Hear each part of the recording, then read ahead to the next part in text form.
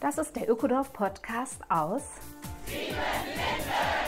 Mein Name ist Simone Britsch. In unserem Ökodorf leben 150 Menschen seit 25 Jahren nachhaltig und gemeinschaftlich zusammen.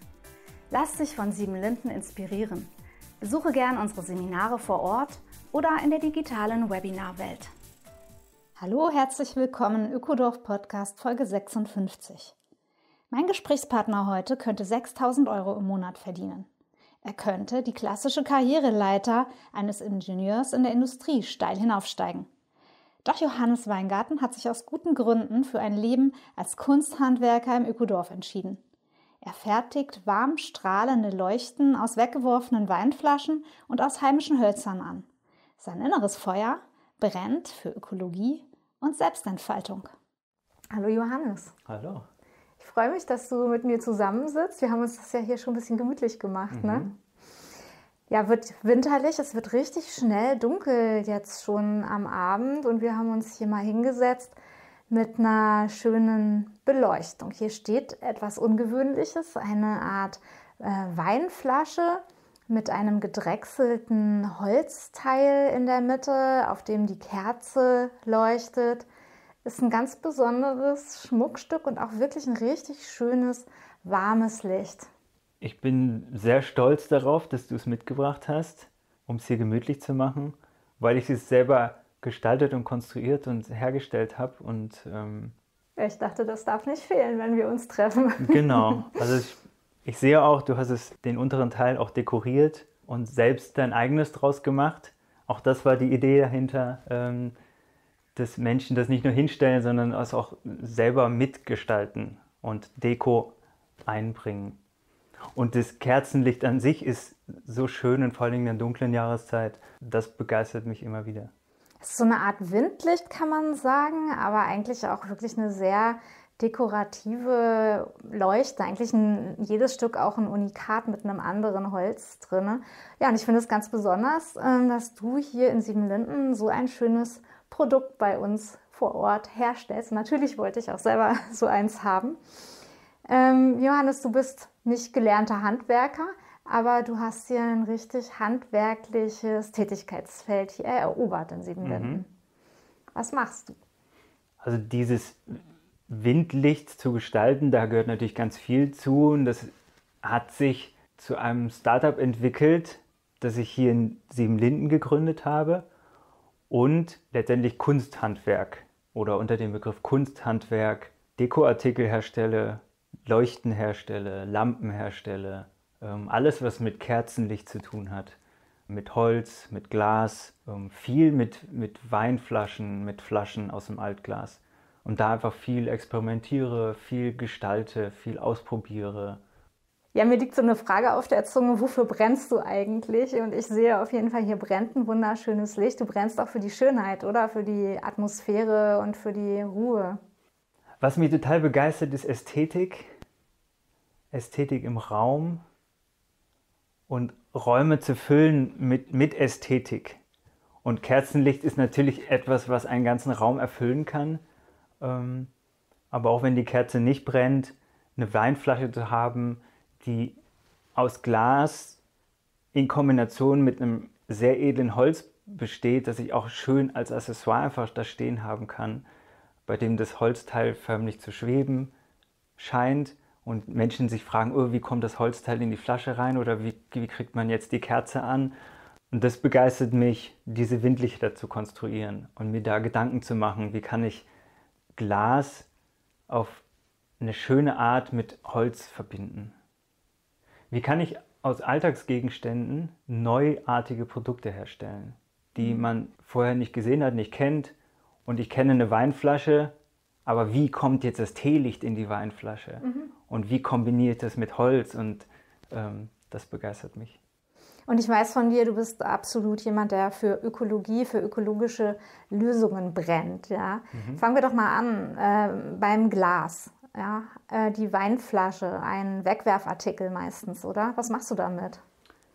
Also ich bin gleichzeitig auch der Beauftragte, der das Altglas von unserem gesamten Dorf zum Altglascontainer bringt. also du hast nicht alle selber ausgetrunken? Nein, das nicht, das würde ich nicht schaffen. Und es, gibt mir den Vorteil, relativ viel Altglas zu recyceln oder abzucyceln, also neue Produkte ähm, daraus zu gestalten und einer, Wein, einer Weinflasche ein neues Leben quasi zu schenken. Ja gut, also so eine Menge ähm, ausgetrunkener Weinflaschen und eignen die sich alle gleichermaßen für deine Leuchtenproduktion? Ja und nein. Ich habe damals angefangen, bei Weinflaschen den Boden abzuschneiden, einen Draht reinzuhängen, um die Weinflasche in den Baum hängen zu können, mit einem Teelicht drin. Für die Hochzeit von meinem Bruder haben wir 20 Stück in den Baum gehangen. Sah total schön aus und hat eine richtig, richtig geile Atmosphäre gemacht. Und dann habe ich aber angefangen, mit gedrechselten Holzteilen zu arbeiten, die ich auch fertigen lasse.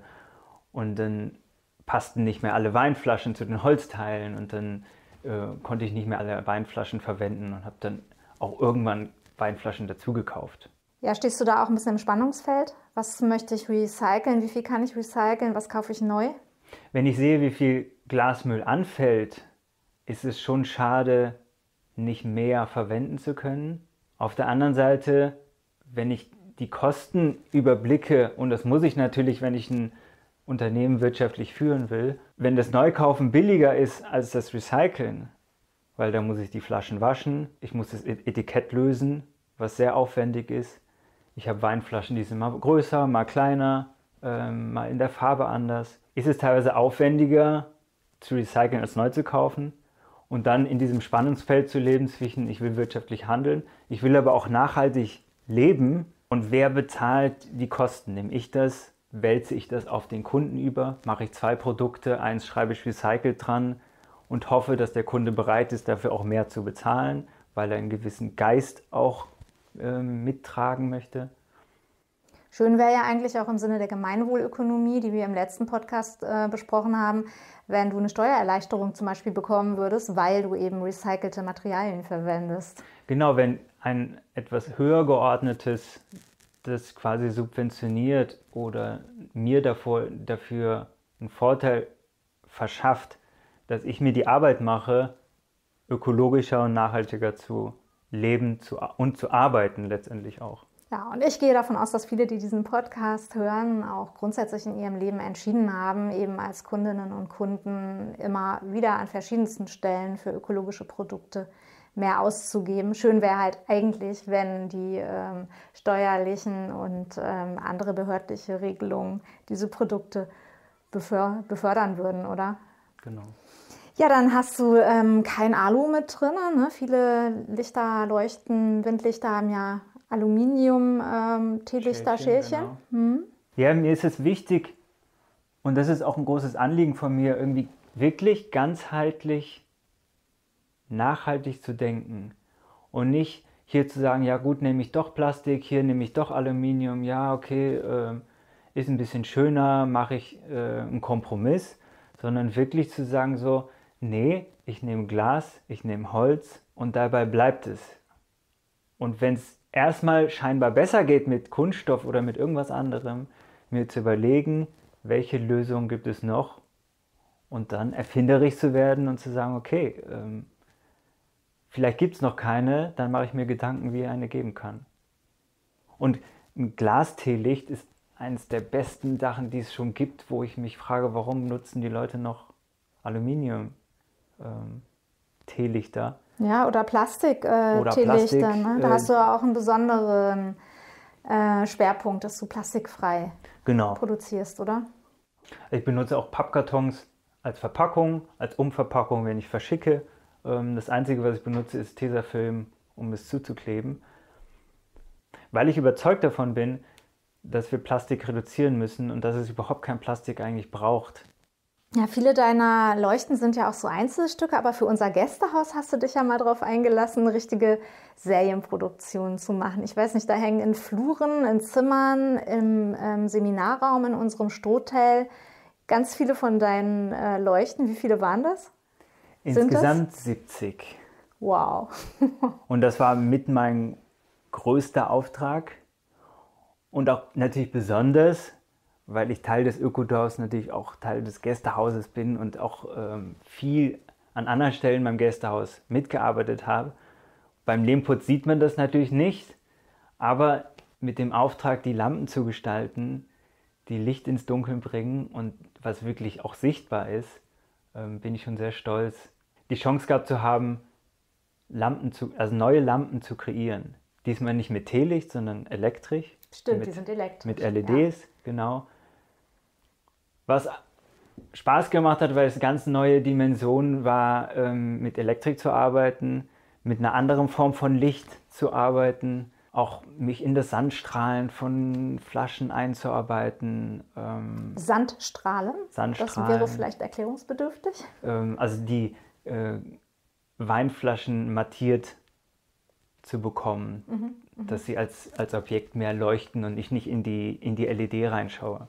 Also du hast mit Sand quasi die Oberfläche so verändert, dass genau, es eine andere, eine andere Lichtbrechung dann, genau, dann gibt. So, genau, hm? das sieht dann so milchig aus. Ja, ja. Ähm, ist auf jeden Fall ein sehr schönes, warmes äh, Licht, auch im, im Gästehaus, in diesen Lehmwänden und so kommt das, finde ich, sehr, sehr schön zum Ausdruck. Mhm, danke. Ja, Johannes, also nun bist du hier so ein, so ein ähm, Kunsthandwerker und auch sehr begabter, handwerklicher Allrounder, der an vielen Ecken im Ökodorf praktisch tätig ist. Und nun kommen wir mal zu deiner eigentlichen Ausbildung. Du bist studierter Maschinenbauingenieur. Richtig. Und manchmal, ja, wenn ich dich so in diesen vielfältigen Bereichen hier in Siebenlinden sehe, dann denke ich mir, mein Gott, der Johannes mit seinen 35 Jahren, der könnte ja auch in einem äh, großen Industrieunternehmen arbeiten. Weiß ich nicht. Was würdest du da jetzt verdienen nach so ein paar Jahren Berufstätigkeit? Also mein Einstiegsgehalt war 5000 pro Monat. Ja, bei meiner letzten Arbeitsstelle, die ich quasi in der freien Wirtschaft hatte, bevor ich nach Siebenlinden kam. Ja, Wahnsinn. Dann wärst du jetzt wahrscheinlich bei 6000 oder keine Ahnung, wo wissen wir nicht. Auf jeden Fall bist du da natürlich im Ökodorf mit deinem jetzigen Betriebskonzept weit davon entfernt oder von dieser Hausnummer. Aber was hat dich denn hierher geführt? Also was, was bringt jemand mit so einer gefragten Ausbildung dazu, ja, sein Leben eigentlich zu verändern? Manche würden ja sagen, Karriere aus, aufzugeben und hierher zu kommen. Das ist natürlich die Frage, was man unter Karriere versteht. Ähm, wenn Karriere nur heißt, ich mache das große Geld ähm, oder steige irgendeine Leiter auf in einer Firma, dann ist das eine Qualität. Und es gibt aber auch, was ich jetzt hier in Siebenlinden festgestellt habe, viel mehr Qualität von Karriere, von Arbeiten, was anfängt bei, gestalte ich meine Arbeitszeit zum Beispiel selber, meine Urlaubszeit selber, meine, den Umfang, den Stress, den ich mir mache, meine Ziele selber, das Produkt, was ich herstelle, wo ich dahinter stehe, wie identifiziert bin ich damit. Und das sind auch Qualitäten, die es braucht, um in einem Job oder ich mit meiner Arbeit glücklich zu werden. Und das kann vielleicht heißen, dass ich sage, ich mache gar nicht 40 Stunden das eine, sondern ich mache zehn Stunden die Woche Windlichter und stehe in der Werkstatt an einer Säge und mache die ganze Zeit dieselbe Arbeit und mache aber zehn Stunden die Woche noch Lehmputz, weil mich das auch begeistert und mache zehn Stunden was ganz anderes, Atemtraining mit Menschen, weil mich das begeistert oder die Technik beim Sommercamp oder Crepe verkaufen habe ich dich schon sehen. Crepe verkaufen oder Arbeit mit Kindern oder Jugendlichen. Ja. Also mich nicht nur auf, eine, auf ein Arbeitsfeld zu spezialisieren, sondern viel breitfächiger zu agieren und mich auch in ganz vielen Facetten auch ausleben zu können, weil ich ja, nie, weil ich ja mehr bin als nur ein Maschinenbauingenieur. Ja, das hast du jetzt sehr schön gesagt, finde ich. Und ja, auch gut gut verständlich und äh, wie, wie es eben im Ökodorf äh, möglich sein kann, ein, ja, irgendwie auch ein ganzheitlicherer Mensch zu sein, oder? Seine ganzen Qualitäten auszufahren.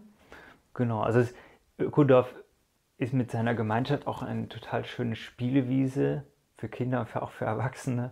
Große Kinder. Und große Kinder, ganz große Kinder. Weil ich hier einfach viele, viele Möglichkeiten in meinem direkten Umfeld habe. Auch in der Stadt gibt es sehr viele Möglichkeiten, keine Frage, aber hier gibt es in meinem Umfeld viel mehr Möglichkeiten, wo ich viel schnelleren Zugang zu habe.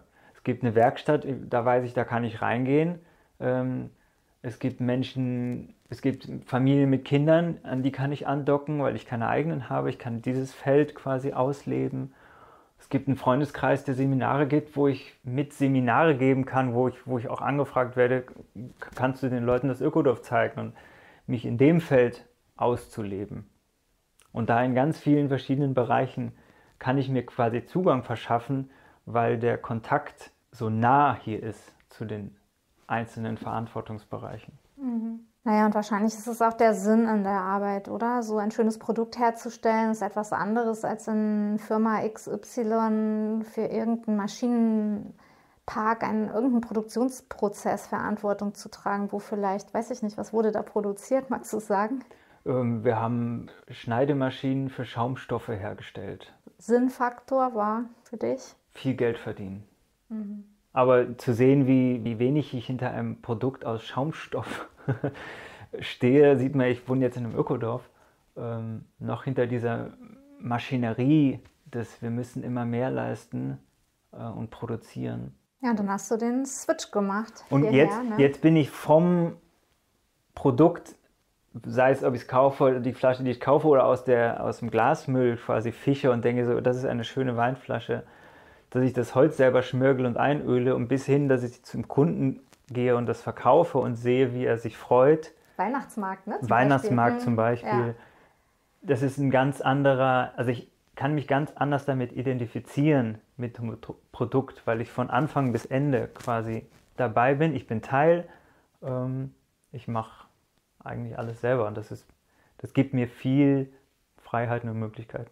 Hm. Ja, und dein ganzes Öko-Herz, denke ich mal, blüht hier auch auf. Also ich merke jedenfalls an verschiedenen Ecken und Enden in Siebenlinden, dass du dich immer wieder für ja, tolle Lösungen hier engagierst. Und da ja, kann ich mir schon vorstellen, dass es einfach befriedigender ist und letztendlich, ja, wofür leben wir, oder?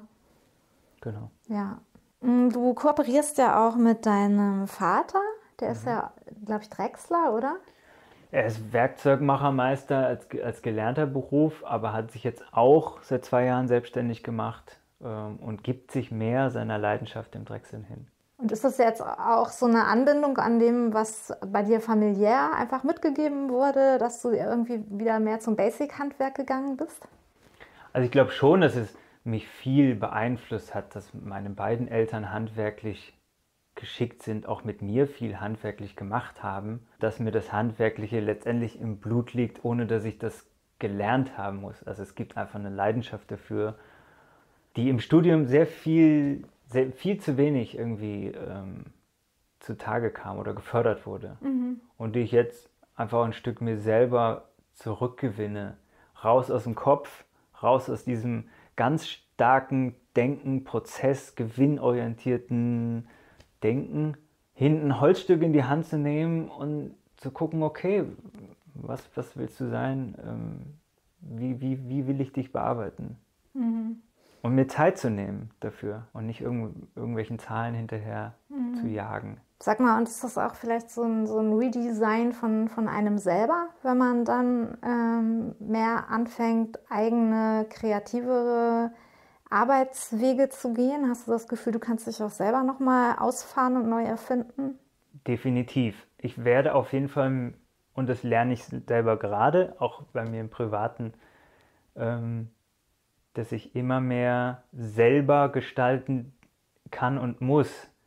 Wenn ich in eine Firma angestellt bin, dann habe ich jemanden von oben, der sagt mir, mach das, tu das. Ich bin nicht verantwortlich im gewissen Sinne. Und jetzt kann und muss ich selber machen. Und dadurch lerne ich eine eigene, lerne ich eigentlich selbstständig zu sein im, im wahrsten Sinne des Wortes.